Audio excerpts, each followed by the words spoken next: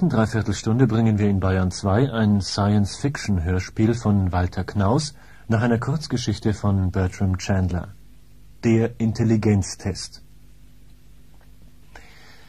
Wenn es stimmt, dass außer uns Menschen im Weltall auch andere, nichtmenschliche, intelligente Wesen leben, dann könnte es leicht sein, dass man sich auf die Begegnung mit solchen nichtmenschlichen Intelligenzwesen vorbereitet. Zum Beispiel müsste man damit rechnen, dass die Verständigung nicht über Sprache und Sprechen möglich ist, weil diese anderen Wesen möglicherweise gar nicht sprechen, um sich miteinander und also auch mit den Menschen zu verständigen. Besonders wichtig könnte es also sein, dass man bei einer solchen Begegnung möglichst unmissverständlich und deutlich zu verstehen gibt, dass man über Intelligenz verfügt. Aber wie soll man das bewerkstelligen, wenn einem die Sprache dafür nicht zur Verfügung steht?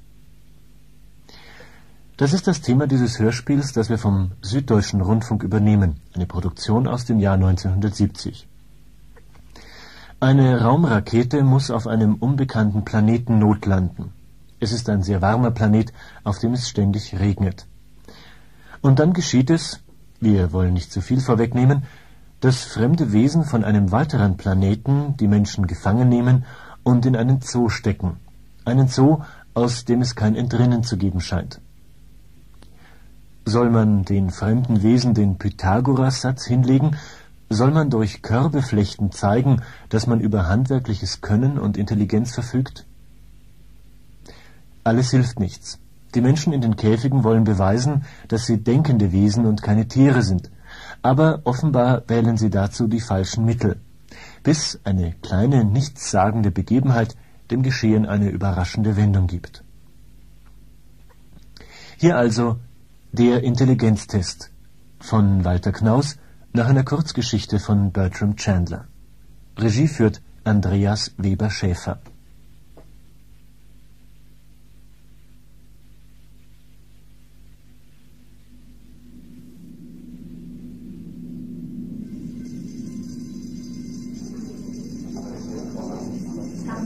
Was soll das verdammt nochmal? Was ist denn? Zum Donnerwetter, wissen Sie, was das soll? Keine Ahnung. Was ist denn das für ein Idiot? Bei uns ist was geklingelt. Ruhe, meine Herrschaften, kein Grund zur Aufregung. Das sagen Sie. Reden Sie keinen Unsinn, Matt. Wir sind erwachsene Menschen. Alarm! Das ist Alarm! Doch kein Alarm, da sollten Sie erst mal erleben, was Alarm ist. Alarm! Hilfe! Alarm! Was ist nur die Ruhe? Was? Was sagen Sie? Lassen Sie mich durch! Alarm! Alarm! Alarm? Alarm! Alarm! Eva, Immer wegschreiben! Achtung, Achtung, Kapitän an alle, Kapitän an alle, Mannschaft und Passagiere des Raumschiffs Polarstern versammeln sich in zehn Minuten. Das ist 16 Uhr galaktischer Zeit in der Offiziersmesse auf Deck 10. Folgen Sie den roten Leitstreifen. Ich wiederhole. 16 Uhr galaktischer Zeit.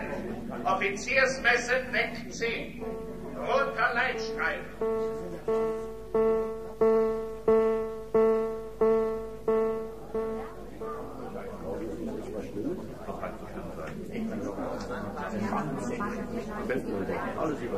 Anfangen, anfangen! Fangen die denn nicht an? Anfangen!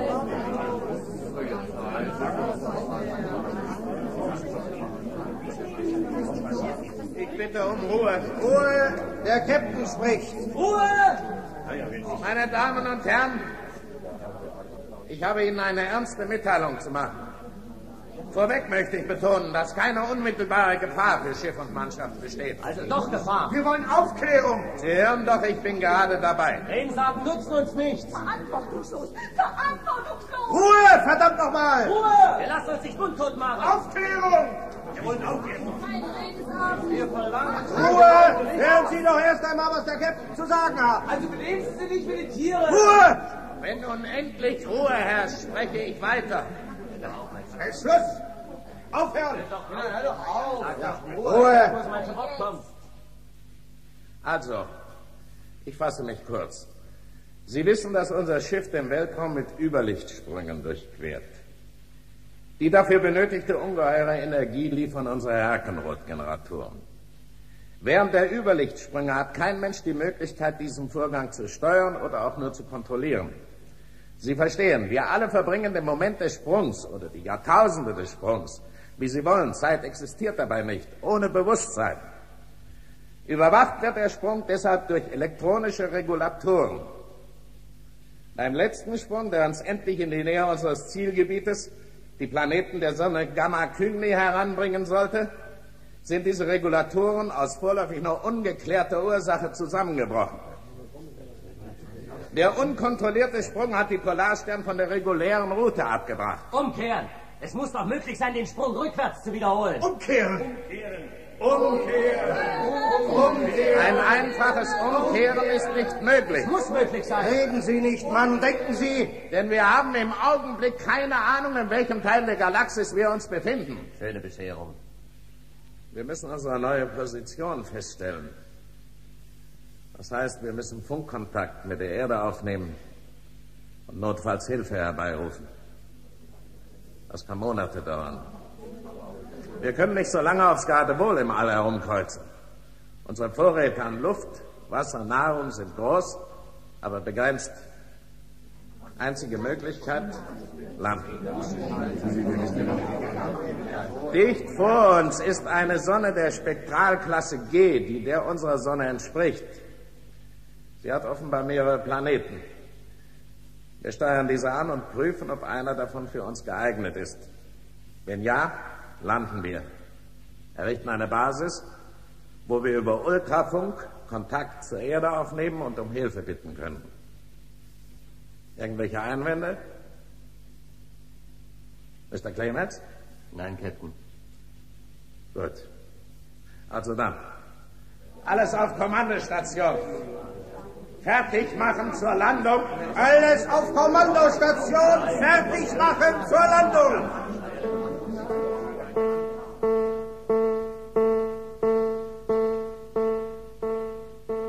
Flüchtiger meint der Captain. War eine glatte Landung. Hat er ja schließlich gelernt. Wenn Sie mich fragen, ich finde ihn großartig. Ach nee. Haben Sie schon auf den Bildschirm geguckt, was der für einen idyllischen Planeten für uns ausgesucht hat? Na, viel auszusuchen gab's da wohl nicht. Regen. Pausenlos. Dreimal haben wir das Ding umkreuzt. Keine Lücke in den Wolken. Alles trieft von Wasser. Außerdem sehen Sie sich nur mal das Außenthermometer an. Fast 48 Grad Celsius. Und das um den ganzen Globus rum. Möchten Sie wirklich in der Kreuzung von Waschküche und Treibhaus leben? Ah, es wird ja nicht ewig dauern. Wir können ja im Schiff bleiben. Wer weiß, was es da draußen für Gefahren gibt. Verdammt, was ist das schon wieder? Kapitän an alle. Höchste Alarmstufe. Atommeiler der Herkenort-Generatoren ist außer Kontrolle geraten. Explosionsgefahr. Instandsetzungstrupp sofort auf Kommandostation. Alle Passagiere und restliche Mannschaften verlassen sofort das Schiff durch die nächstgelegene Schleuse. Sofort. Sie haben keine Zeit mehr, Ihr Gepäck zu holen. Beeilen Sie sich. Explosionsgefahr. Setzen Sie sich möglichst weit vom Schiff ab. Obermatt Hawkins übernimmt das Kommando. Obermatt Hawkins übernimmt das Kommando.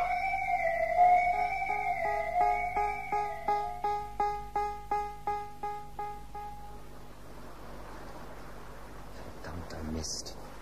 Dieser ewige Regen. Seien Sie nicht undankbar. Wenigstens sind wir davongekommen. Den Captain hat's bei der Explosion erwischt. Ihre Belehrung brauche ich nicht. Merken Sie sich das. Aber Mr. Clemens. Stimmt doch. Eine schöne Rettung das. Unter einer warmen Dauerbrause zu sitzen. Ohne Gepäck, ohne Verpflegung, ohne ein Dach über dem Kopf. Ich habe nicht meine Zahnbürste mit. Ach, was Zahnbürste. Streichhölzer, das wär's, was wir brauchen. Tja, was wollen Sie denn kochen, Mensch?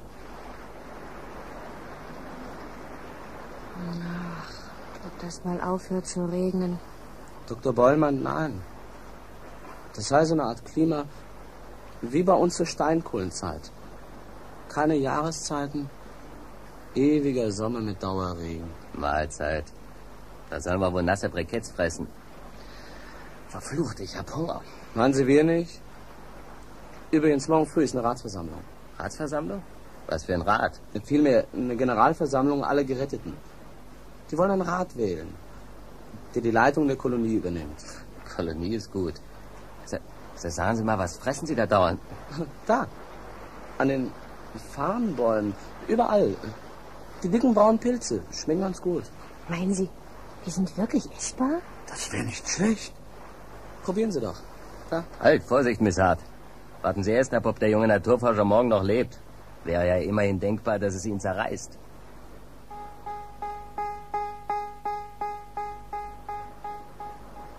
Meine Damen und Herren, ich danke Ihnen für Ihr Vertrauen und nehme die Wahl zum Ratsvorsitzenden an. Äh, inzwischen ist ja auch unsere größte Sorge behoben. Unser Kadett Fennett hat durch seinen Mut... Durch seinen Leichtsinn. Nun ja, durch seinen äh, mutigen Leichtsinn bewiesen, dass wir hier nicht zu verhungern brauchen. Diese Pilze sind essbar, saftig, wohlschmeckend sogar und allem Anschein nach auch nahrhaft. Der ewige Regen ist lästig, auch die Hitze, aber ich glaube, dass es hier warm ist, ist unsere Chance. Ich möchte Mr. Hawkins etwas fragen. Äh, ja, bitte, bitte. Wie stehen unsere Chancen, dass man uns endlich findet und rettet? Äh, Mr. Hawkins, äh, bitte beantworten Sie Miss Taylors Frage, äh, wenn möglich. Ja. Unsere Chancen dafür sind leider sehr gering. Das lässt sich nicht leugnen. Wie Sie gehört haben werden, ist während der interstellaren Fahrt keine Verständigung mit anderen Schiffen oder Planetenstationen möglich. Als wir die Fahrt stoppten und zur Landung ansetzten, sandten wir einen Notruf aus. Aber wir konnten nicht sagen, wo wir uns befanden. Außerdem wissen wir nicht einmal, ob der Ruf aufgefangen wurde. Naja, natürlich nicht. Wir hätten hier nach der Landung einen starken Notsender bauen müssen. Aber nach der Explosion? Äh, machen wir uns also nichts vor. Eine Rettung von der Erde aus wäre reiner Zufall. Ja, danke, Mr. Hawkins. Bitte, Sie haben es alle gehört. Wir müssen uns mit dem Gedanken vertraut machen, dass dieser Planet hier unsere Heimat werden wird. Das ist doch nicht Ihr Ernst, Doc. Ich protestiere. Das ist mein völliger Ernst, Miss Taylor. Und Sie, Mr. Clemens, müssen Ihren Protest an höherer Stelle vorbringen. Der Rat ist dafür nicht zuständig. Schöne Schweinerei. Wir dürfen uns nicht selbst aufgeben, meine Damen und Herren. Wir sind über 50 Menschen. Bei richtiger Organisation und einiger Findigkeit sollte es uns doch möglich sein, hier zu überleben. Als Nahrung haben wir fürs Erste diese Pilze. Und unter den Fahnen habe ich einige Beerensträucher entdeckt. Wir werden sie prüfen. Es äh, muss auch essbare Wurzeln geben. Danach müssen wir suchen. Drüben am Fluss habe ich Fische gesehen, große und kleine. Es gibt alles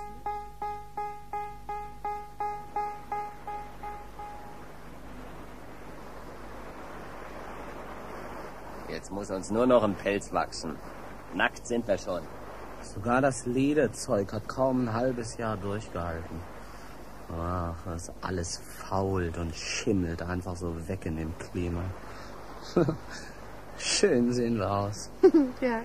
ja, das ist der Rest. Umso besser, Mary. Weg mit der Briefmarke. Ihnen steht das. Lassen Sie Mary in Ruhe. Was? Was war das? Na, meine Herren, wer ist der Stärkere? Mary, schämen Sie sich. Nimm dich ja in Acht, du. Für Sie bin ich immer noch Mr. Fennett. Das bist du für mich. Das. Komm her. Zur Hilfe! Wir nehmen sich für die Tiere. Sie Schweinehund! Schweinehund! Was ist da los? Hilfe, Mr. Hawkins! Ich komme! Stopp!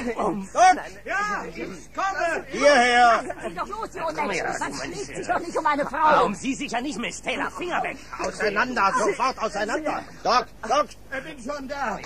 Lassen Sie los! Ja, das sagen Sie mal Ihrem jungen Mann da, scheiß Kadett. Bennett, Bennett, hören Sie auf! Sie soll aufhören! Warum denn aufhören? Schämen sollten Sie sich! Neidisch, alte Jungfer, ha? Sie, Sie Person! Sie. So, Person. Ja, Person! Ah, alter Ziege. Dreckstück. Und der... Bennett! Clemens! Na, endlich! Sind Sie denn völlig verrückt geworden, Miss Hart? Miss Taylor! Sie hat Ach, angefangen. das interessiert uns doch nicht. Sie sollen jetzt so... Was so wollen Sie eigentlich? Halten Sie endlich den Mund! Alle beide! Tja, Herrschaften. Schön sehen wir aus. Soll das so weitergehen? Mord und Totschlag? Fennett, sausen Sie los. In einer Stunde Vollversammlung vor meiner Hütte und ich bitte mir aus, dass niemand fehlt.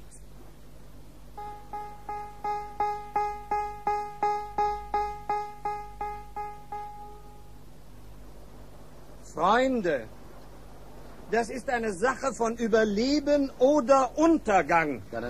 Entweder wir können so weitermachen und uns allmählich selbst ausrotten. Oder wir können eine Form finden, um die anscheinend unvermeidbaren Rivalitäten geordnet auszutragen. Das allein wäre menschenwürdig. Was aber tun wir? Wir fallen erschreckend schnell ins Tierreich zurück. Womit ich nebenbei gesagt den Tieren Unrecht tue, denn die haben ja ihre Regeln und Gesetze. Ja, das wahr. Manche von uns klagen, dass wir keine Kleidung mehr haben, kein Werkzeug, kein Licht, kein Feuer. Und sie sagen, das entmenschliche uns mag sein. Aber vielmehr entmenschlicht uns diese neue Barbarei, die sich unter uns ausbreitet. Wir werden Nachkommen haben und denen schulden wir eine menschliche Welt. Wir müssen darüber nachdenken, wie wir das anfangen sollen. Gewiss, äh, wir werden Ihnen die Sprache übermitteln. Lassen wir die Sprache erst einmal aus dem Spiel, Doktor. Reden wir darüber, ob wir überhaupt Nachkommen haben werden. Ja, Wir sind 53 Menschen hier, darunter 10 Ehepaare, die können wir beiseite lassen. Bleiben 33 Menschen, von denen sind 20 Männer. 20 Männer für 13 Frauen. Ja. Die Frauen sind zwar nicht mehr alle jung, aber keine ist zu alt, um Kinder zu bekommen. Was für ein System der Paarbildung haben Sie sich vorgestellt? Nun, Monogamie? Vielmännerei? Natürlich Monogamie. Monogamie. Ich muss Sie warnen. Wenn wir uns darauf einigen, gibt es sicher Ärger. Und bei jedem Mord, der aus Leidenschaft und Eifersucht begangen wird, ist die Frau genauso bedroht wie die beiden Männer. Das ist absolut ja, ja, aber äh, worauf wollen Sie hinaus, Miss Hart? Ganz einfach, Doktor. Lassen wir die Liebe völlig aus dem Spiel. Wenn zwei Männer ein und dieselbe Frau heiraten möchten, dann müssen sie das unter sich durch Zweikampf ausmachen. Der beste Mann bekommt immer das Mädchen und behält es. Ja, natürliche Auslese. Die Regel des Tierreiches. Ja. Es ist eigentlich gar nicht so schlecht in unserer Lage. Darüber sollten wir abstimmen. Äh, wer ist dafür? Ja, ja, ja. ja. Alle? Gegenstimmen?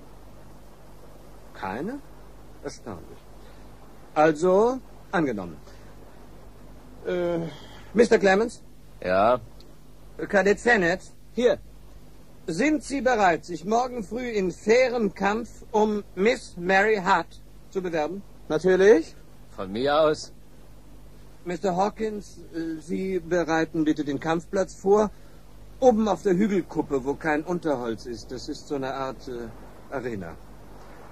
Tja. Miss Hart, meine Herren, auf morgen früh.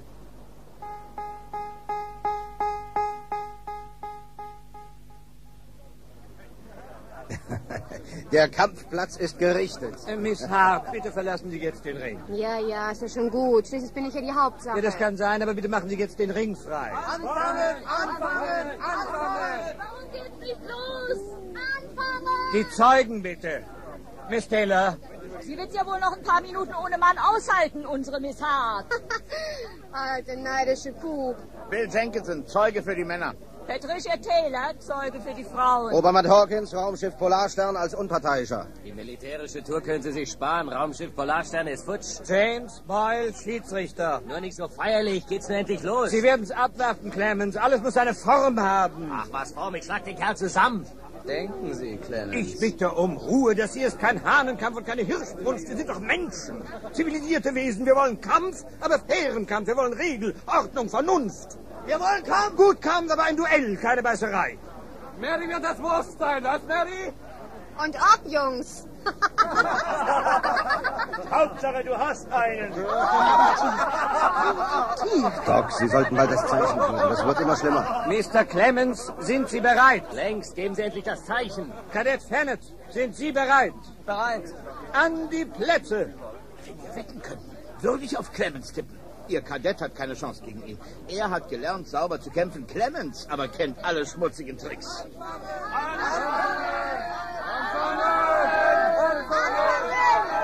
wir fangen an. Ich bitte um einen fairen Kampf. Der Bessere soll gewinnen. Na los, macht schon. Wollt ihr mich etwa nicht? Wenn ihr noch lange so dasteht, kriegt ihr nie eine Frau. Sie warten auf deine Töchter, Verdi. Aber falls ich so je welche kriege. Achtung! Los! Los! Warum schlägt ihr nicht zu? Um sich die Knöchel aufzuschlagen. Schließlich haben Sie ja keine Handschuhe.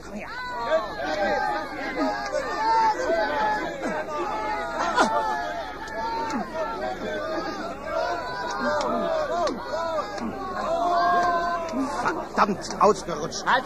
Halt! Er ist ausgerutscht. Ich protestiere. Clemens, hören Sie auf, das ist nicht erlaubt. Halten Sie sich nur raus, Doktor. Clemens, die Finger von seinen Augen. Zurück, zurück.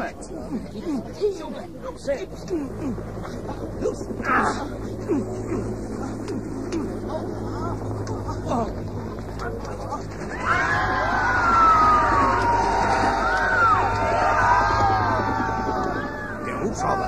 ist ein Hubschrauber. Die retten uns. Die retten uns. Hallo. Hallo. Weg von da weg. Der ist nicht von der Erde. Flieht, das sind Fremde. Zurück, die werfen ein Netz. Verdammt, was ist das? Was wollen die? Das lebt ja. Das Netz lebt. Das lebt. Ich, ich kann mich nicht rühren. Ich will nicht. Ich will nicht. Nein, nein, nein. Bleibt alle zurück. Verteilt euch. Ihr könnt uns nicht retten.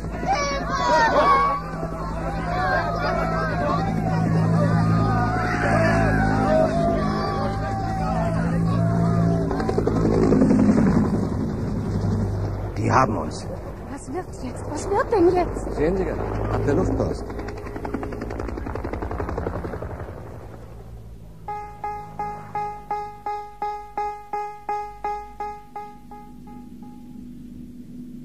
Wie lange fahren wir schon in diesem Ding? Ach, keine Ahnung. Man müsste wissen, wie lange Sie uns unter Narkose gehalten haben. Nach der Hubschrauberlandung. Eine Unverschämtheit. Uns einfach in Käfige zu stecken wie die Viecher. Wieso kümmert sich keiner um uns? Ach, was wollen Sie? Wir haben zu trinken, wir haben Streu, wir haben Essen. Diese Scheißpilze von unserem Planeten, auf die könnte ich verzichten. Mensch, mal wieder ein richtiges Steak. Ah, Der kam aber von Herzen.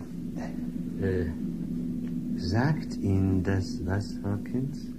Was sagt mir was? Das Geräusch des Antriebs. Mir scheint, das klingt nicht viel anders als unser Polarstern. Ja, denke ich schon die ganze Zeit. Nicht wahr? Typischer Klang der Herdenrotgeneratoren.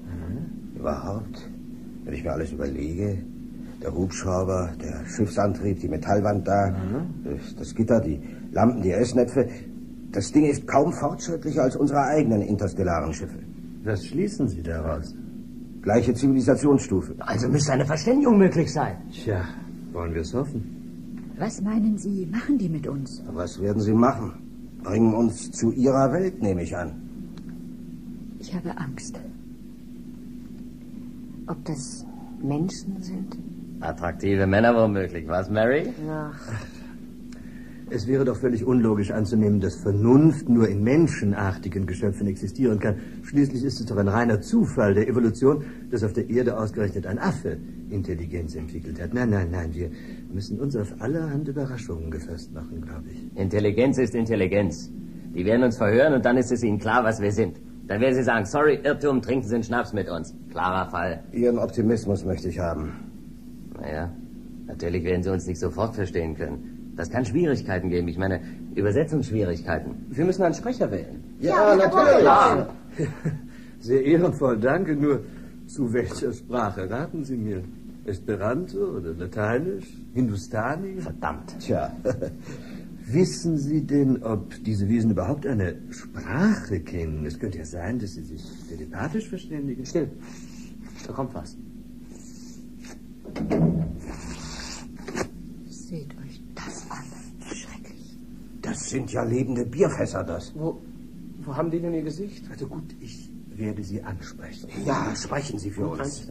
Haben Sie gefressen? Glaub nicht. Werden schon noch. Hören Sie, Vielleicht zu heiß? zum ersten Mal, seit der Kosmos existiert, Müssen saufen. Los, still nach. stehen denkende Wesen einander gegenüber.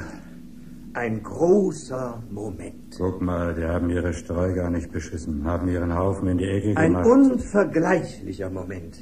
Brüder, wir bieten euch die Hand. Was bellt das Ding denn andauernd? Wir werden uns verstehen. Wahrscheinlich hat's Angst. Oder Hunger. Sind doch genug von den komischen Pilzen da. Der Geist, der weit über allen Bedingtheiten des Animalischen steht, der Intellekt, diese unhemmbare, unzerstörbare Kraft. Ziemlich dummes Viehzeug das. Immer nur das gleiche Gebell. Ja, stumpfsinnige Er Biester. ist es, der uns allem Trennenden und aller Fremdheit zum Trotz zu Brüdern macht. Komm, blöde Viecher. Langweilen mich. Gehen Sie nicht, gehen Sie doch nicht, hören, hören Sie mich doch, hören Sie doch, wir, wir denken. Ja, wir, wir denken, wir sind Menschen. Das, das kann doch nicht sein, das, das, das, das kann doch nicht sein. Fehlanzeige. Aber wie ist das möglich? Die wissen offenbar nicht, wie man Gäste behandelt. Das werde ich denen schon beibringen. Ein Mensch ist schließlich kein Vieh. Bestien sind das. Hm, Bestien. Die legen wir rein, da bin ich ganz sicher. Lasst uns erstmal auf denen ihrem Planeten landen. Ehrenwort, die legen wir rein.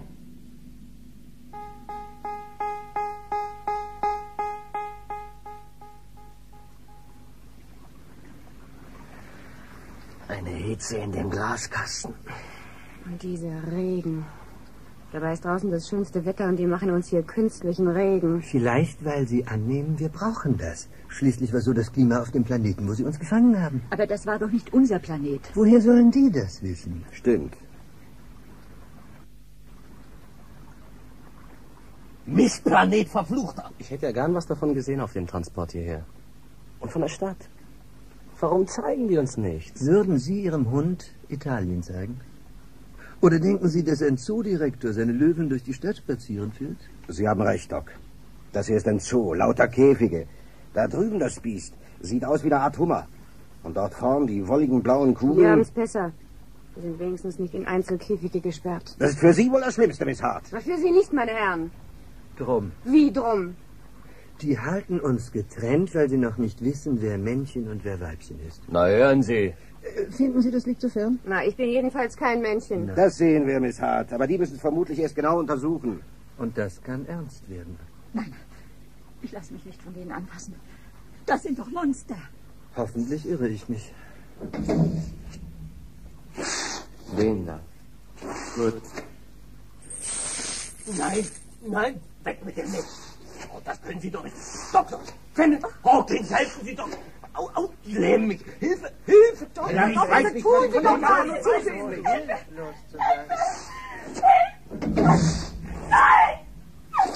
Den da, der so frei. Ja, gut.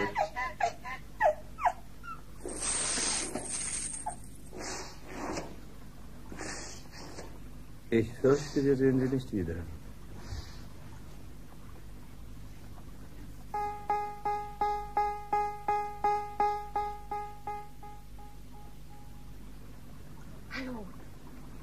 Hört ihr mich? Ja, Miss Hart, wir hören. Was ist mit den beiden? Wissen wir nicht. Ob sie denen was getan haben? Ausgeschlossen. Glauben wir nicht. Glaubt ihr wirklich? Reden Sie mit ihr, Doc. Äh, hallo, Mary.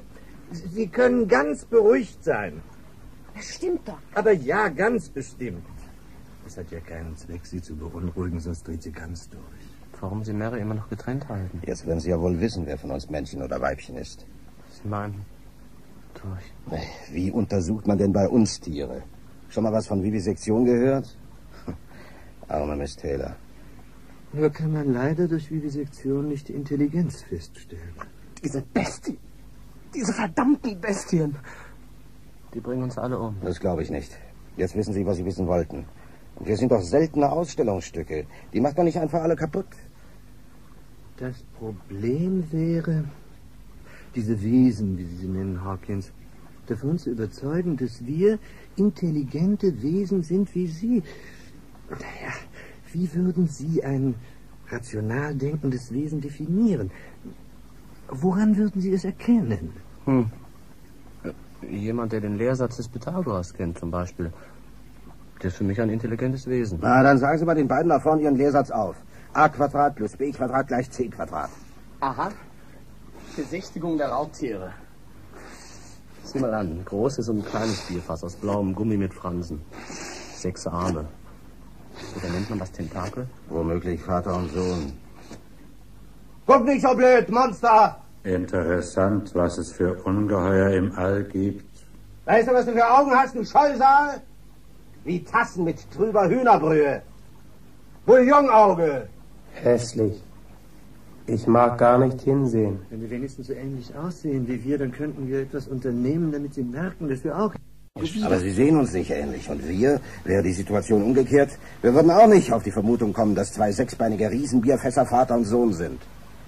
Versuch's doch mal mit dem Pythagoras. Naja, hilft nichts, schadet nichts. Aber wie? Nimm die Farnblätter. Gut, das kommt gegen. Sieh mal, da reißt es Blätter ab. Frisst es die? Oder ob es ein Nest baut? So, passt auf, ihr Kretärs. Das und das hier. Und das. Das ist ein Dreieck. Dreieck. Dreieck, blöde Hunde. Das, das ist die Hypotenuse. Das ist die eine Kathete. Und das hier, das ist die andere Kathete. Die bloß damit. Und das ist das Quadrat über der Hypotenuse. Begreifst du das? Du Idiot. Und das, das ist das zweite Quadrat. Und das. Komm, die sind langweilig. Da drüben ist noch eins. Das wird das Weibchen sein.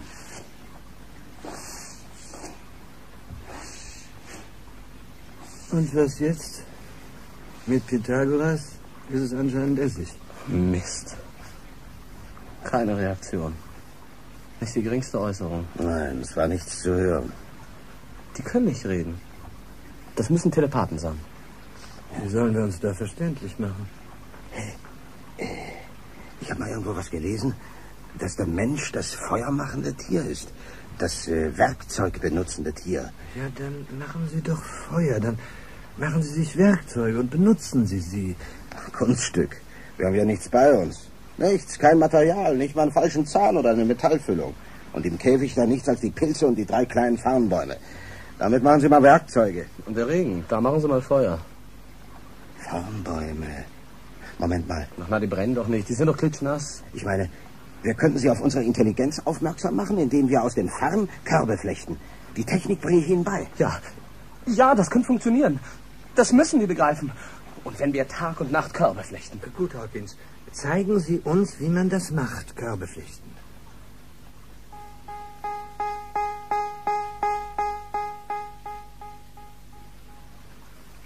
Ach, ich geb's auf. Die kümmern sich doch überhaupt nicht drum. Da können wir flechten bis in alle Ewigkeit. Das war jetzt mein fünfter Korb seit vorgestern. Auch für die Katz. Was meinen Sie, Doc? Ich meine, Hawkins Plan ist die einzige Chance, die wir haben. Wir dürfen nicht aufgeben. Flechten Sie weiter, Kadett. Ich denke nicht dran. Wir sind hier nicht an Bord und Sie haben keine Befehlsgewalt. Sie sind ein Tier und ich bin ein Tier. Wir waren Tiere und wir bleiben Tiere und wir werden Tiere sein. Komm, Joe. Komm. Komm, komm. Kadett Fennett! Lassen Sie ihn doch, Hawkins. Für mehr als zwei Körbe reicht's doch nicht mehr. Dann haben wir auch den dritten Baum restlos zerrupft. Komm. Komm. Da springst du jetzt drüber. Ja? Hopp. Und? Hopp. Hopp. Fennett, Sie machen mich verrückt mit dieser albernen Froschmaus oder was das da ist. Jagen Sie sie weg. Das ist kein Frosch und keine Maus, das ist Joe. Und ich werde ihn zählen. Komm, Joe. Mach Männchen. Kriegst noch feines Pilzchen. So. So, brav. Da hast du. Hey, was macht ihr denn da die ganze Zeit? Wir flechten Körbe. Ihr flechtet was? Körbe. Schnell, tut sie weg. Tut sie weg. Da kommen welche. Umso besser, Mary. Sollen Sie doch. Kommen Sie her, Kadett. Flechten Sie mit. Machen Sie nicht den ganzen Eindruck kaputt. Naja, gut. Sieh mal an. Nestbau, was? Ob die jetzt Brunstzeit haben? Aha, aha. Das gibt zu denken. Werde ich dem Chef melden.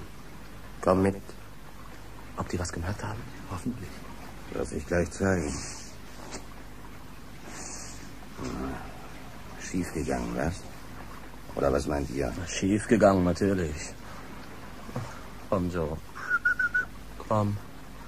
Mach Männchen. Ja, ich glaube auch. Schief gegangen.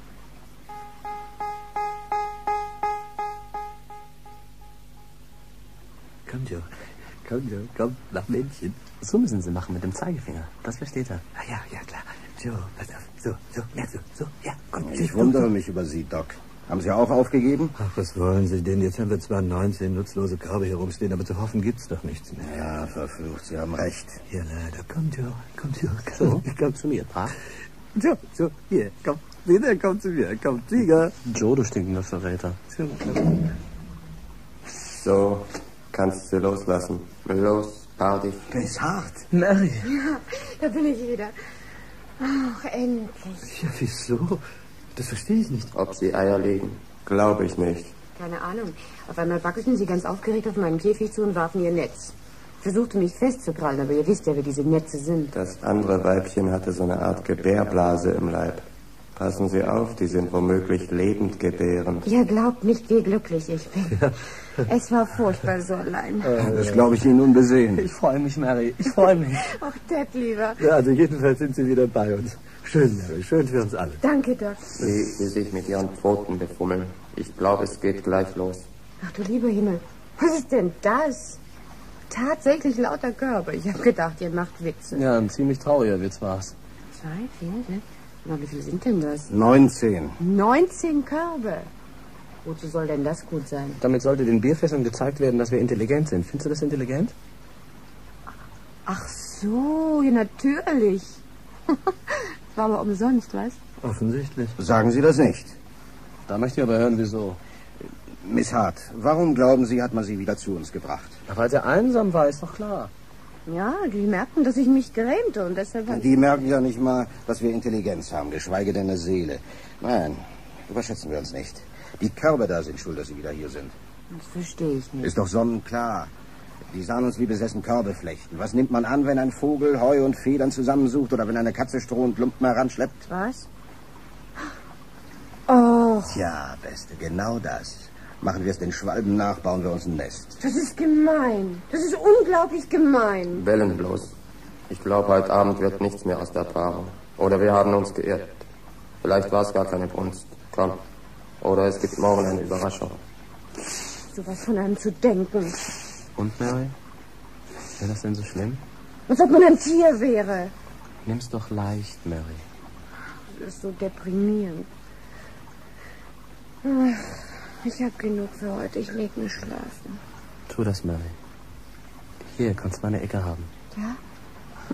Ist lieb, danke. So, siehst du? Das sind noch ein paar Fahnenwedel für unter den Kopf. Fennet, Sie sollte sich hierher auf unserer Seite legen. Aber wieso denn?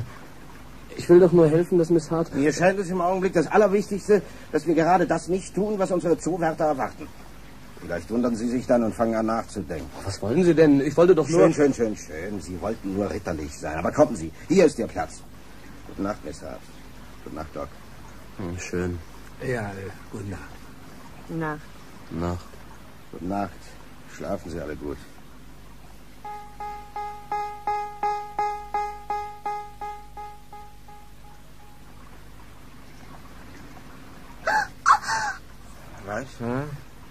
Mary, was war? Was ist los? Ich, ich, ich weiß es nicht.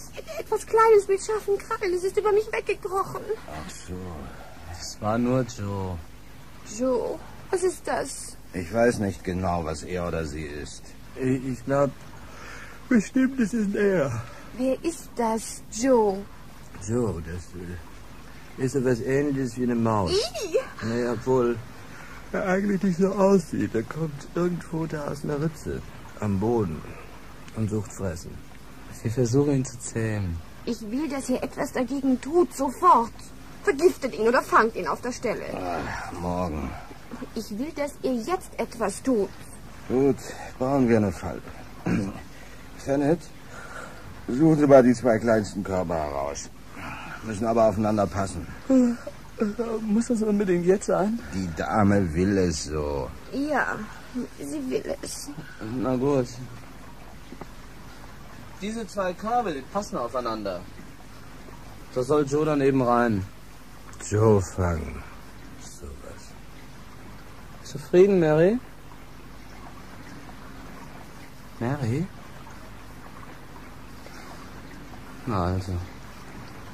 Schön ruhig bleiben, Joe. Reg dich nicht auf, Joe. Morgen baut ihr einen besseren Käfig.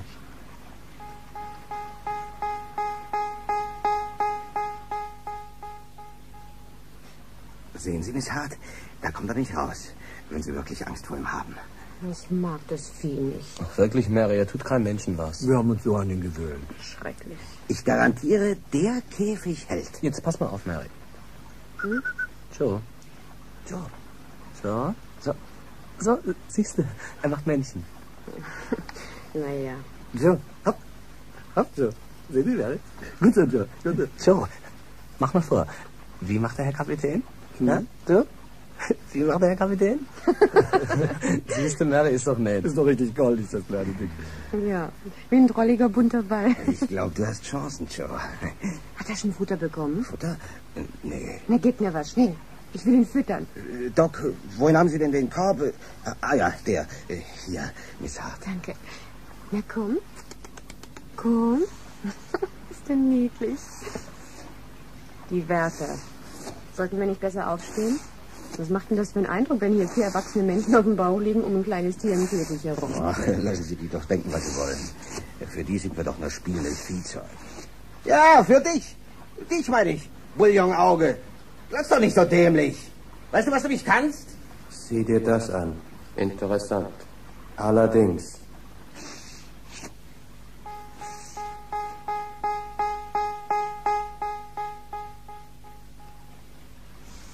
Da rücken sie wieder an, die Bierfässer. Vier Mann hoch. Was meinst du dazu, Joe? Sau komisch. Hawkins, ich fürchte, das wird ernst. Sehen Sie das Netz? Verdammt, das wäre ein schlechter Spaß. Was tun wir? Was sollen wir denn tun? Sitzen bleiben, was sonst? Sitzen bleiben, sitzen bleiben. Es ist zum Verrücktwerden. Los, drückt euch in die Käfigecken. Ich bleib hier. Vermutlich haben Sie an einem genug. Kommt gar nicht in Frage. Zum Donnerwetter, Doc, tun Sie mir den Gefallen. Was hat es mit... Festhalten, Hawkins! Hawkins! Zwecklos, Doc. Lasst euch gut gehen, alle. Hawkins! Leben Sie wohl! Schrecklich. Ja, Sind sie fort? ja. Und Hawkins? Tja, Mary. Hawkins. Joe! Sie haben Joe auch mitgenommen. Samt dem Käfig. So, ach so. Habt ihr Hawkins Augen gesehen? Die werde ich nie mehr vergessen können.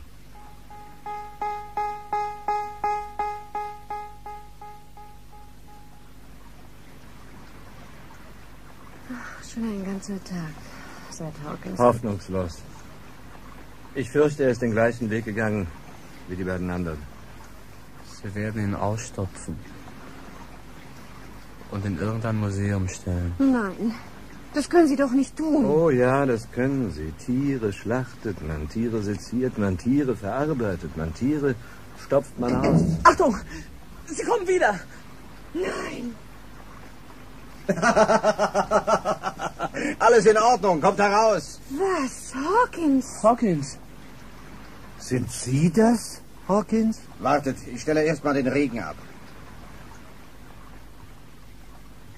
Ja, ich, ich verstehe nicht. Ja, wieso denn? Hawkins! Sie?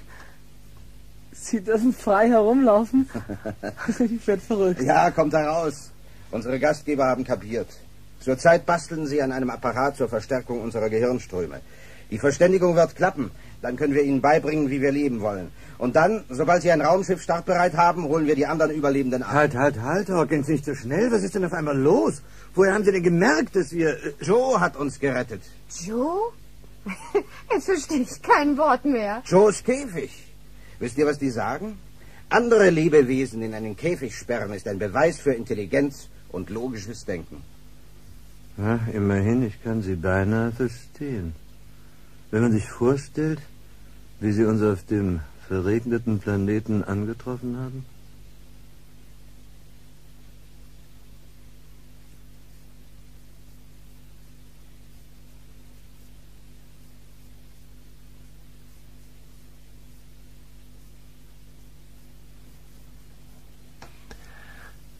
Das war der Intelligenztest von Walter Knaus nach einer Kurzgeschichte von Bertram Chandler. Unter der Regie von Andreas Weber-Schäfer sprachen in dieser Produktion des Süddeutschen Rundfunks Studio Heidelberg den Kapitän Walter Prüssing. Dr. Boyle war Alf Tamin, Hawkins wurde von Günter Strack gesprochen. Fennet und Clemens waren Ulrich Hass und Axel Radler. Mary Hart war Ilona Wiedem, Patricia Taylor Musavetki und Jenkinson wurde von Günter Witte gesprochen.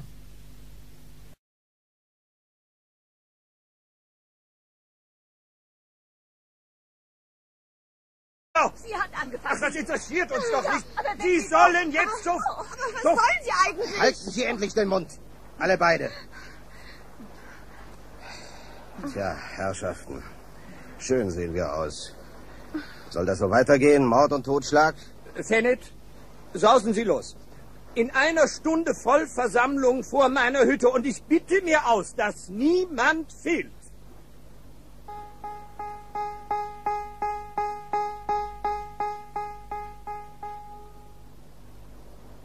Freunde, das ist eine Sache von Überleben oder Untergang. Entweder wir können so weitermachen und uns allmählich selbst ausrotten, oder wir können eine Form finden, um die anscheinend unvermeidbaren Rivalitäten geordnet auszutragen. Das allein wäre menschenwürdig. Was aber tun wir? Wir fallen erschreckend schnell ins Tierreich zurück. Womit ich nebenbei gesagt den Tieren Unrecht tue, denn die haben ja ihre Regeln und Gesetze. Ja, das wahr. Manche von uns klagen, dass wir keine Kleidung mehr haben, kein Werkzeug, kein Licht, kein Feuer. Und sie sagen, das entmenschliche uns mag sein. Aber vielmehr entmenschlicht uns diese neue Barbarei, die sich unter uns ausbreitet. Wir werden Nachkommen haben und denen schulden wir eine menschliche Welt. Wir müssen darüber nachdenken, wie wir das anfangen sollen. Gewiss, äh, wir werden Ihnen die Sprache übermitteln. Lassen wir die Sprache erst einmal aus dem Spiel, Doktor. Reden wir darüber, ob wir überhaupt Nachkommen haben werden. Ja. Wir sind 53 Menschen hier, darunter 10 Ehepaare, die können wir beiseite lassen. Bleiben 33 Menschen, von denen sind 20 Männer. 20 Männer für 13 Frauen. Ja. Die Frauen sind zwar nicht mehr alle jung, aber keine ist zu alt, um Kinder zu bekommen. Was für ein System der Paarbildung haben Sie sich vorgestellt? Nun, Monogamie? Vielmännerei? Natürlich Monogamie. Monogamie. Ich muss Sie warnen. Wenn wir uns darauf einigen, gibt es sicher Ärger. Und bei jedem Mord, der aus Leidenschaft und Eifersucht begangen wird, ist die Frau genauso bedroht wie die beiden Männer. ja, ja, aber äh, worauf wollen Sie hinaus, Miss Hart? Ganz einfach, Doktor. Lassen wir die Liebe völlig aus dem Spiel. Wenn zwei Männer ein und dieselbe Frau heiraten möchten, dann müssen sie das unter sich durch Zweikampf ausmachen. Der beste Mann bekommt immer das Mädchen und behält es. Ja, natürliche Auslese. Die Regel des Tierreiches. Ja. Es ist eigentlich gar nicht so schlecht in unserer Lage. Darüber sollten wir abstimmen. Äh, wer ist dafür? Ja, ja, ja. Alle? Gegen... Das Leben! Ich, ich kann mich nicht rühren! Ich will nicht! Ich will nicht! Nein, nein, Bleibt alle zurück. Verteilt euch, ihr könnt uns nicht retten.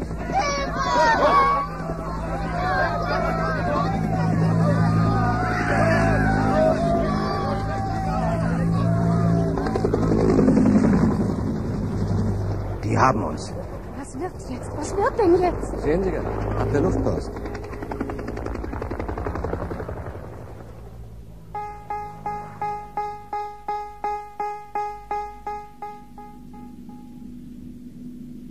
Lange fahren wir schon in diesem Ding? Ach, keine Ahnung. Man müsste wissen, wie lange Sie uns unter Narkose gehalten haben. Nach der Hubschrauberlandung. Eine Unverschämtheit. Uns einfach in Käfige zu stecken wie die Viecher. Wieso kümmert sich keiner um uns? Ach, was wollen Sie? Wir haben zu trinken, wir haben Streu, wir haben Essen. Diese Scheißpilze von unserem Planeten, auf die könnte ich verzichten. Mensch, mal wieder ein richtiges Steak. Ah, Der kam aber von Herzen. Äh, sagt Ihnen das was, Hawkins? Was sagt mir was? Das Geräusch des Antriebs. Mir scheint, das klingt nicht viel anders als unser Polarstern. Ja, denke ich schon die ganze Zeit. Nicht wahr? Typischer Klang der Herdenrotgeneratoren. Überhaupt, wenn ich mir alles überlege, der Hubschrauber, der Schiffsantrieb, die Metallwand da, das Gitter, die Lampen, die Essnäpfe, das Ding ist kaum fortschrittlicher als unsere eigenen interstellaren Schiffe. Was schließen Sie daraus? Gleiche Zivilisationsstufe. Also müsste eine Verständigung möglich sein. Tja, wollen wir es hoffen.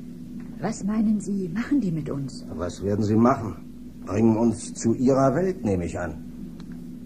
Ich habe Angst. Ob das Menschen sind? Attraktive Männer womöglich, was, Mary? Ach, Es wäre doch völlig unlogisch anzunehmen, dass Vernunft nur in menschenartigen Geschöpfen existieren kann. Schließlich ist es doch ein reiner Zufall der Evolution, dass auf der Erde ausgerechnet ein Affe Intelligenz entwickelt hat. Nein, nein, nein, wir müssen uns auf allerhand Überraschungen gefasst machen, glaube ich. Intelligenz ist Intelligenz. Die werden uns verhören und dann ist es ihnen klar, was wir sind. Dann werden sie sagen, sorry, Irrtum, trinken Sie einen Schnaps mit uns. Klarer Fall. Ihren Optimismus möchte ich haben. Naja, natürlich werden sie uns nicht sofort verstehen können. Das kann Schwierigkeiten geben. Ich meine, Übersetzungsschwierigkeiten. Wir müssen einen Sprecher wählen. Ja, natürlich. Klar. Sehr ehrenvoll, danke. Nur zu welcher Sprache raten Sie mir? Esperanto oder Lateinisch? Hindustani? Verdammt. Tja, Wissen Sie denn, ob diese Wesen überhaupt eine Sprache kennen? Es könnte ja sein, dass sie sich telepathisch verständigen. Still. Da kommt was. Seht euch.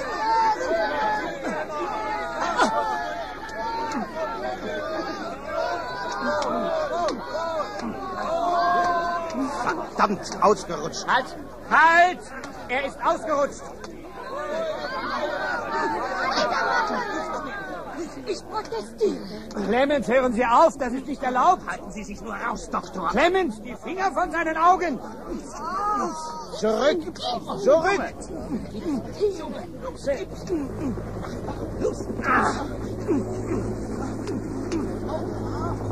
Der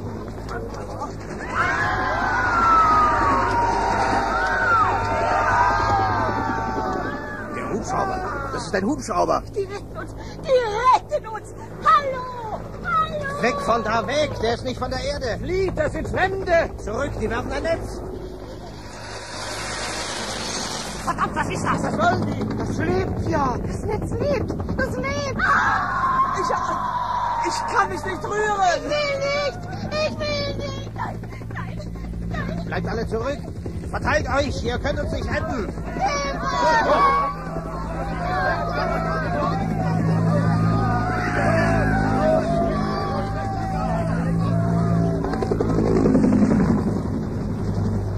haben uns. Was wird jetzt? Was wird denn jetzt? Sehen Sie ja. Ab der Luftpost.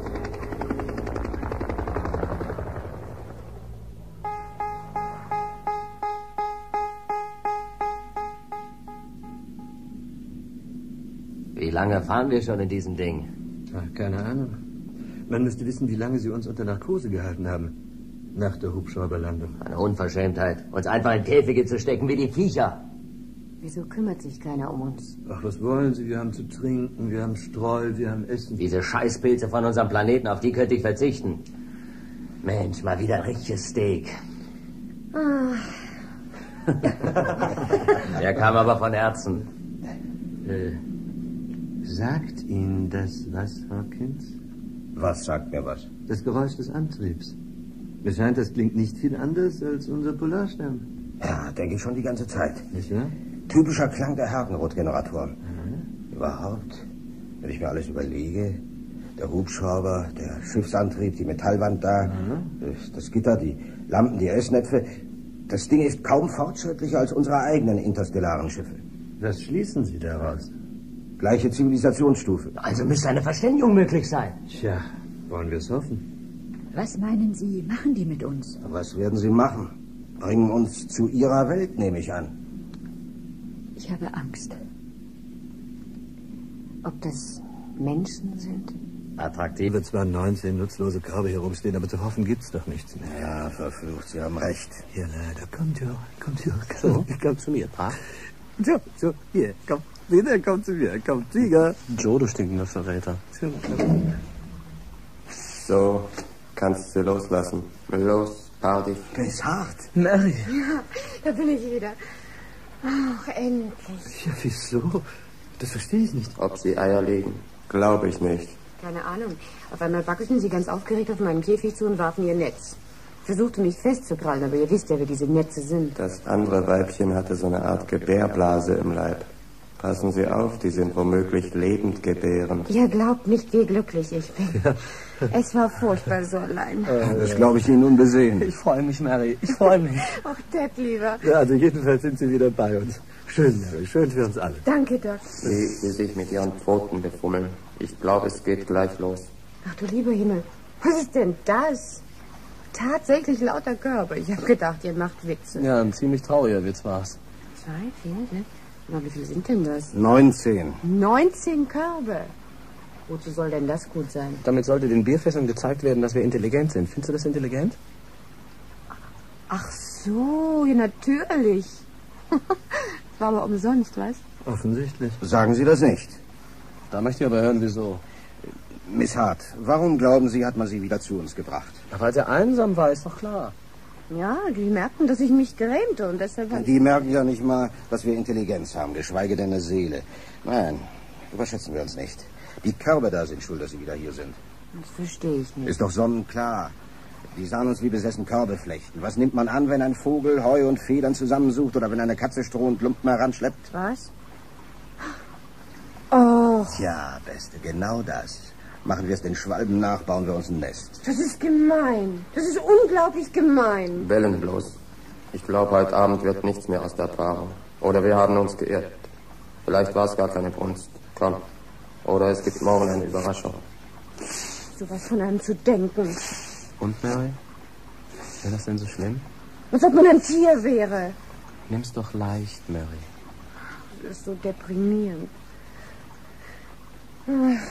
Ich habe genug für heute. Ich leg mich schlafen. Tu das, Mary. Hier, kannst meine Ecke haben. Ja? Ist lieb, danke. So, siehst du? Das sind noch ein paar Fahnenwedel für unter den Kopf. Fennet, Sie sollten sich hierher auf unserer Seite legen. Aber wieso denn?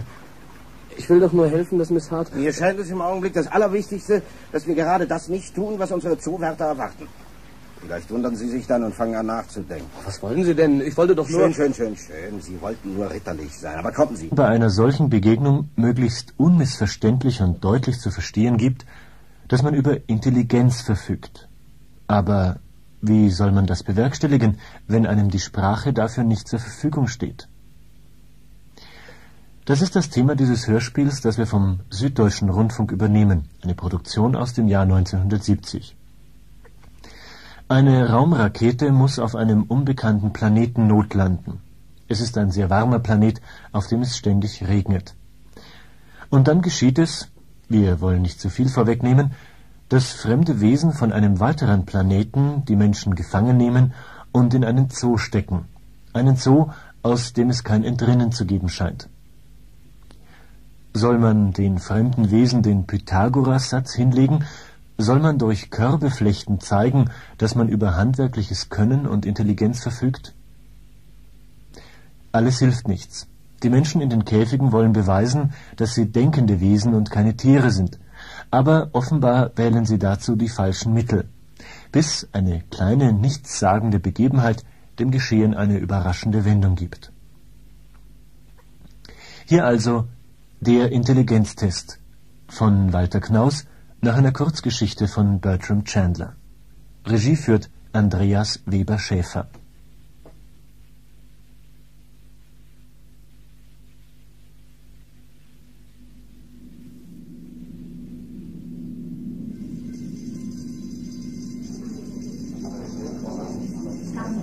Was soll das verdammt nochmal? Was ist denn? Zum Donnerwetter, wissen Sie, was das soll? Keine Ahnung. Was ist denn das für ein Idiot? Hier unten ist was geklingelt. Ruhe, meine Herrschaften, kein Grund zur Aufregung. Das sagen Sie. Reden Sie keinen Unsinn, Matt. Wir sind erwachsene Menschen. Alarm! Das ist Alarm! Doch kein Alarm, da sollten Sie erst mal erleben, was Alarm ist. Alarm! Hilfe! Alarm! Was ist nur die Ruhe? Was? Was sagen Sie? Lassen Sie mich los! Alarm! Alarm! Alarm! Alarm! Alarm!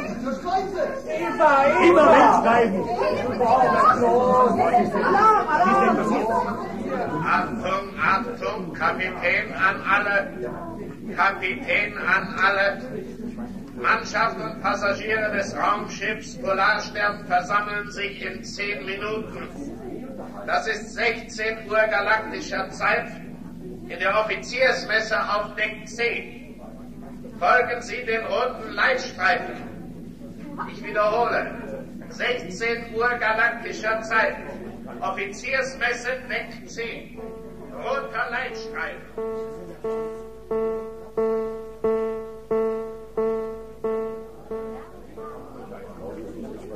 Die bringen uns alle um. Das glaube ich nicht.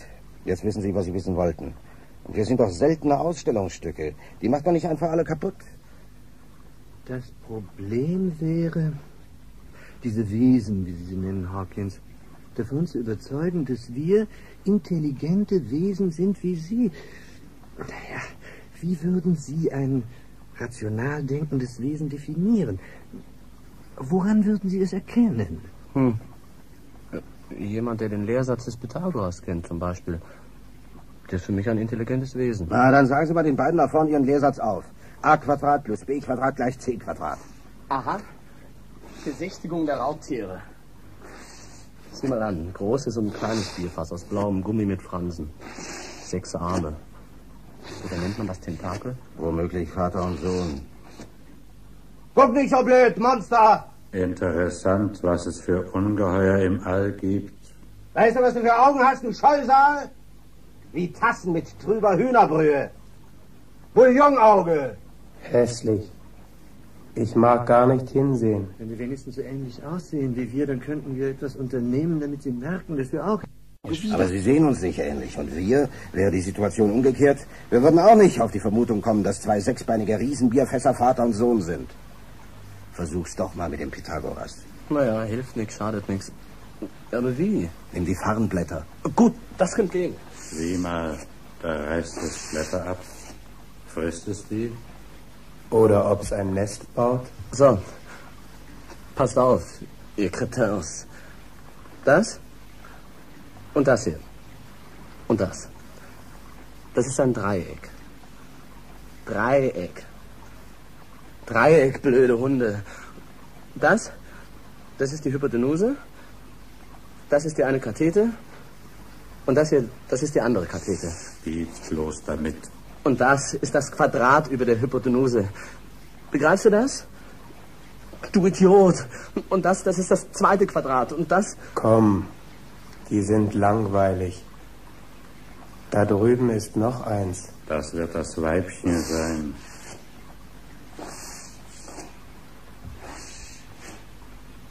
Und was jetzt? Mit Pythagoras ist es anscheinend Essig. Mist. Keine Reaktion. Nicht die geringste Äußerung. Nein, es war nichts zu hören. Die können nicht reden. Das müssen Telepathen sein. Wie sollen wir uns da verständlich machen? Ich habe mal irgendwo was gelesen, dass der Mensch das feuermachende Tier ist. Das äh, Werkzeug benutzende Tier. Ja, dann machen Sie doch Feuer. Dann machen Sie sich Werkzeuge und benutzen Sie sie. Eine Verpflegung. Und ein Dach über dem Kopf. Ich habe nicht meine Zahnbürste mit. Ach, was Zahnbürste. Streichhölzer. Das wär's, was wir brauchen. Tja, was wollen Sie denn kochen, Mensch? Ach, ob das mal aufhört zu regnen. Dr. Bollmann, nein. Das sei so eine Art Klima wie bei uns zur Steinkohlenzeit. Keine Jahreszeiten, ewiger Sommer mit Dauerregen. Mahlzeit. Da sollen wir wohl nasse Briketts fressen. Verflucht, ich hab Hunger. Meinen Sie wir nicht? Übrigens, morgen früh ist eine Ratsversammlung. Ratsversammlung? Was für ein Rat? Vielmehr eine Generalversammlung aller Geretteten. Die wollen einen Rat wählen, der die Leitung der Kolonie übernimmt. Kolonie ist gut. So, so, sagen Sie mal, was fressen Sie da dauernd? Da, an den Farnbäumen, überall. Die dicken braunen Pilze, schmecken ganz gut. Meinen Sie, die sind wirklich essbar? Das wäre nicht schlecht. Probieren Sie doch. Da. Halt, Vorsicht, Miss Hart. Warten Sie erst ab, ob der junge Naturforscher morgen noch lebt. Wäre ja immerhin denkbar, dass es ihn zerreißt.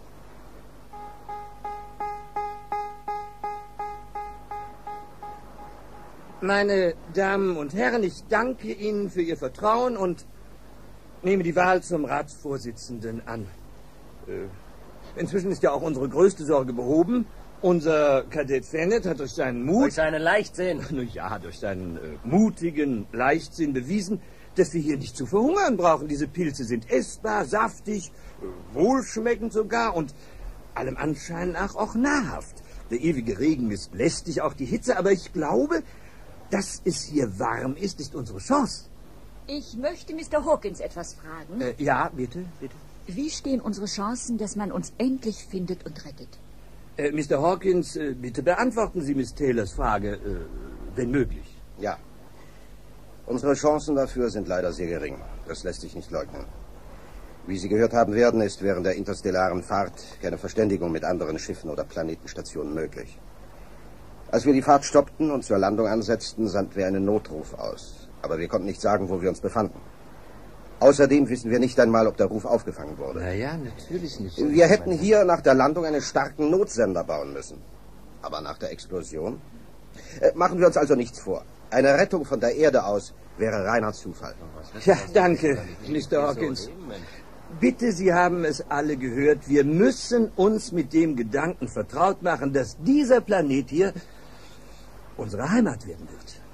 Das ist doch nicht Ihr Ernst, Doc. Ich protestiere. Das ist mein völliger Ernst, Miss Taylor. Und Sie, Mr. Clemens, müssen Ihren Protest an höherer Stelle vorbringen. Der Rat.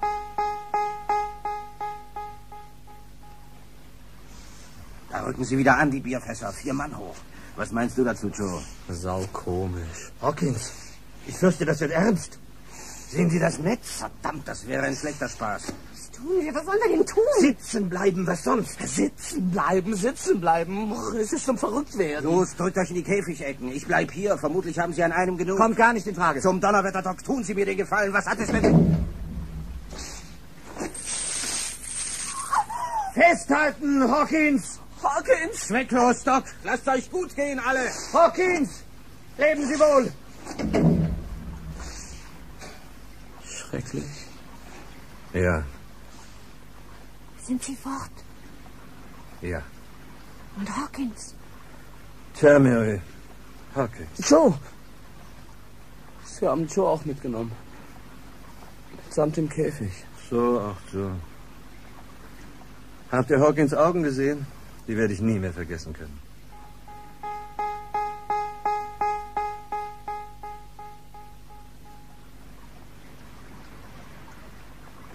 Schon ein ganzer Tag seit Hawkins. Hoffnungslos. Ich fürchte, er ist den gleichen Weg gegangen wie die beiden anderen. Sie werden ihn ausstopfen.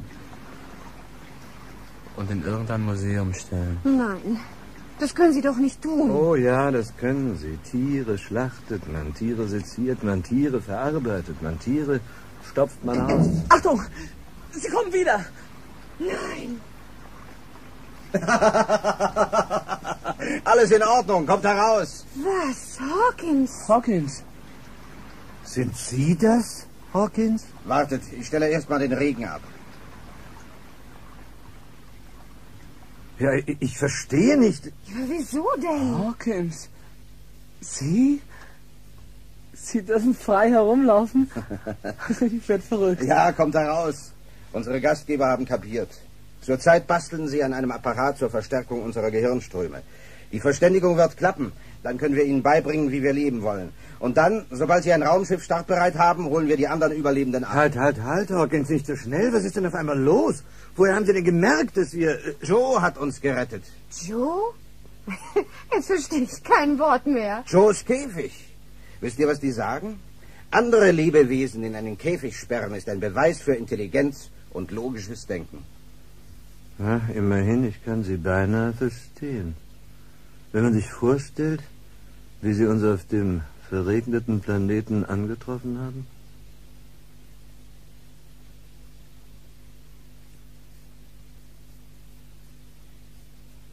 Er ist es, der uns allem Trennenden und aller Fremdheit zum Trotz zu Brüdern macht. Komm, blöde Viecher. Langweilen mich. Gehen Sie nicht, gehen Sie doch nicht, hören, hören Sie mich doch, hören Sie doch, wir, wir denken. Ja, wir, wir denken, wir sind Menschen.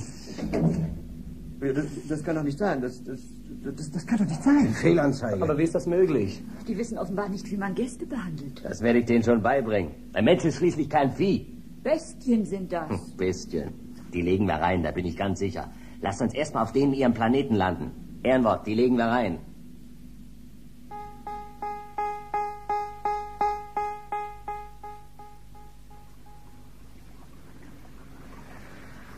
Eine Hitze in dem Glaskasten. Und dieser Regen. Dabei ist draußen das schönste Wetter und die machen uns hier künstlichen Regen. Vielleicht, weil Sie annehmen, wir brauchen das. Schließlich war so das Klima auf dem Planeten, wo Sie uns gefangen haben. Aber das war doch nicht unser Planet. Woher sollen die das wissen? Stimmt.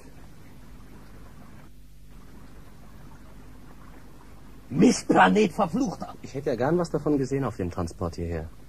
Und von der Stadt. Warum zeigen die uns nichts? Würden Sie Ihrem Hund Italien zeigen? Oder denken Sie, dass ein Zoodirektor seine Löwen durch die Stadt spazieren führt? Sie haben recht, Doc. Das hier ist ein Zoo, lauter Käfige. Da drüben das Biest sieht aus wie eine Art Hummer. Und dort vorn die wolligen blauen Wir haben Kugeln. es besser. Wir sind wenigstens nicht in Einzelkäfige gesperrt. Das ist für Sie wohl das Schlimmste, Miss Hart. Was für Sie nicht, meine Herren. Drum. Wie drum? Die halten uns getrennt, weil sie noch nicht wissen, wer Männchen und wer Weibchen ist. Na, hören Sie. Finden Sie, das liegt so fern? Na, ich bin jedenfalls kein Männchen. Das sehen wir, Miss Hart. Aber die müssen es vermutlich erst genau untersuchen. Und das kann ernst werden. Nein, ich lasse mich nicht von denen anfassen. Das sind doch Monster. Hoffentlich irre ich mich. Den da. Gut. Nein, nein, weg mit dem Netz. Oh, das können Sie doch nicht. Doktor, Kenneth, Hawkins, helfen Sie doch. Au, au, die lähmen mich. Hilfe, Hilfe, Doktor. Ja, ich Doch, weiß nicht, tun was ich doch von mal. Ihnen Zusehen.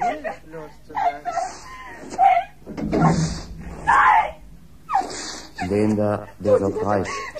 Ja, gut.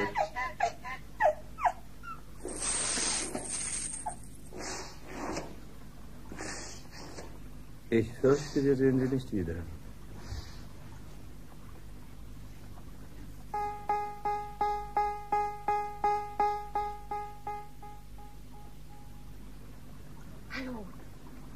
Hört ihr mich? Ja, Miss Hart, wir hören. Was ist mit den beiden? Wissen wir nicht. Ob sie denen was getan haben? Ausgeschlossen. Glauben wir nicht. Glaubt ihr? Probieren Sie doch. Da. Halt, Vorsicht, Miss Hart. Warten Sie erst ab, ob der junge Naturforscher morgen noch lebt. Wäre ja immerhin denkbar, dass es ihn zerreißt.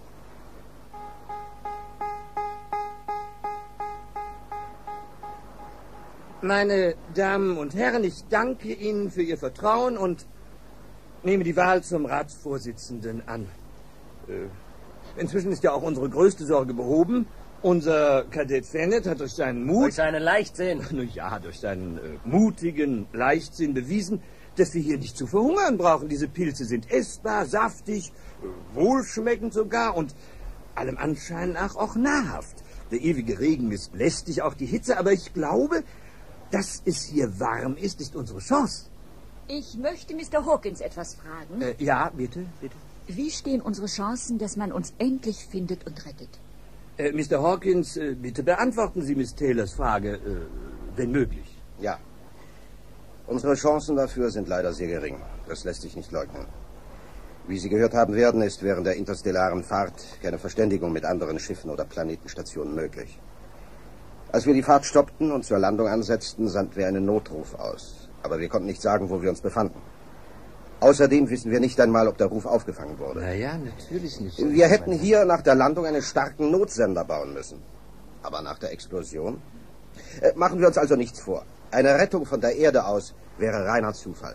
Ja, danke, Mr. Hawkins. Bitte, Sie haben es alle gehört. Wir müssen uns mit dem Gedanken vertraut machen, dass dieser Planet hier unsere Heimat werden wird.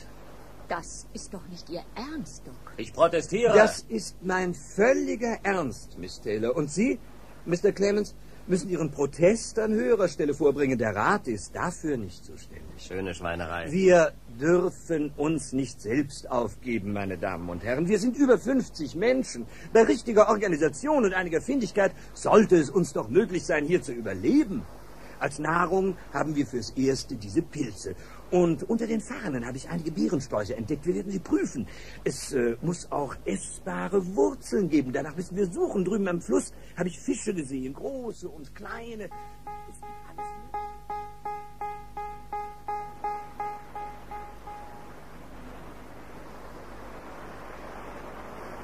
Jetzt muss uns nur noch ein Pelz wachsen. Nackt sind wir schon. Sogar das Lederzeug hat kaum ein halbes Jahr durchgehalten. Ach, das alles fault und schimmelt einfach so weg in dem Klima. Schön sehen wir aus. ja, da, das ist der Rest. Umso besser, Mary. Weg mit der Briefmarke. Ihnen steht das. Lassen Sie Mary in Ruhe. Was? Was war das?